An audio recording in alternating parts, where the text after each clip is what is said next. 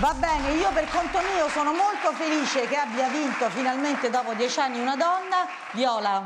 Allora io a parte i cliché su Napoli che sono veramente ormai urticanti nel senso sono una maniera di semplificare la complessità di una città che è chiaramente più facile semplificare attraverso stereotipi e vedo che si ripetono nel tempo e nello spazio. Dopodiché Angelina Mango credo che sia una cantante meravigliosa ma io su questo vedo oltre che lo scolamento sociale, politica, vedo uno scolamento generazionale perché quando mio figlio che ha 12 anni ha saputo che tra i partecipanti a Sanremo ci fossero Geolier e Angelina Mango e altri, è stato felicissimo, lui già li conosceva, era fan, conosceva tutta la discografia, quindi siamo noi che forse ci meravigliamo, diciamo ma chi è Angelina? Ah sì, è la figlia di Pino Mango, no, è una che, eh, già, è... che già adesso così giovane, così brava, ha già tantissimi Tant'è che Sanremo ha recuperato tantissime... moltissimo sui target giovanili. Ha cioè, recuperato tanto. Che l'azienda Rai... Dove, e, perché nessun giornale modo... non mi ha scritto niente? Eh, ma guarda, ma tu ecco, ci parli con i ragazzi, scusami, ma tu ci confronti con... Da vecchi, ma tu conosci dei giovani. Perché i giornali sono Parlano sempre di questi quattro svalvolati. Ti racconto una storia, i giornali continuano a scrivere che i giovani non hanno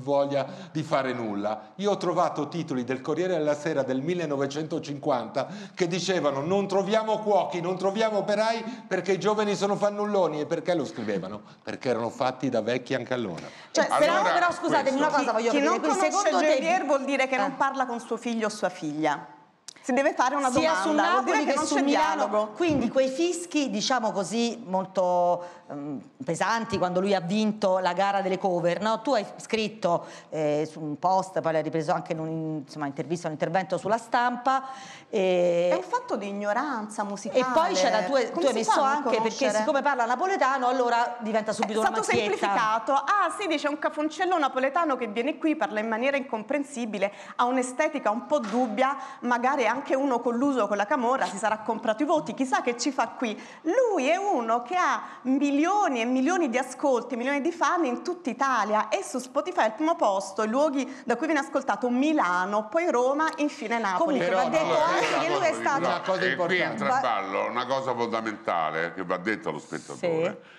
che i voti poi sono manovrati da chi organizza i concerti.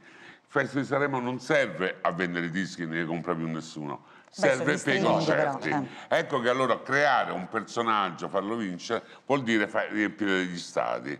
Allora, tutti quei voti... Ma non quelle... è Sanremo che crea Joliet, è Joliet che va a Sanremo e, e fa crescere gli ascolti Io sono però, scusa, però eh. voglio difendere il diritto del pubblico di fischiare, perché se uno fa il cantante, fa l'attore, canta all'opera o balla, sa che tra i suoi rischi ci sono ci sono anche i fischi, possono essere applausi o fischi. Io contesto la motivazione se è stata razzistica, ma altrimenti un pubblico di signori che pagano 1000 euro a poltrona e quindi hanno tutti un'età media piuttosto alta, Beh, perché a, me, a, meno, a meno che non abbiano ereditato, eh. a meno che non abbiano no, ereditato, arriva un ragazzo e non lo capiscono, perché loro capiscono chi è coetaneo della loro età. Cioè se avesse cantato in triestino l'avrebbero fischiato uguale secondo te? Certo. Ma spero che essendo un rapper... L'anno scorso c'era la che fa lo stesso genere di Jolie, hanno anche collaborato, hanno eh. fatto delle performance insieme ed era lo stesso genere. E nessuno l'ha fiscato. Io non Ma non era, non era, in testa allora, alla classifica, il problema era la classifica. si taglia la testa al toro in questo caso perché peraltro Geolier, a differenza di Ultimo di qualche anno fa,